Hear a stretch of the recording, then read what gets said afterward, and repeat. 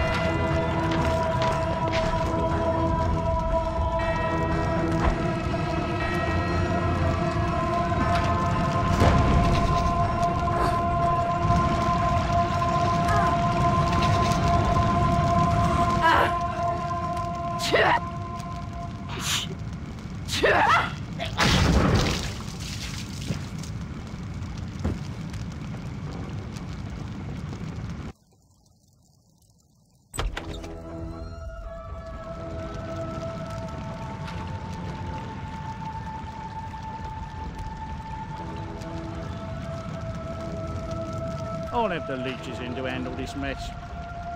At least my shell's in tolerable condition.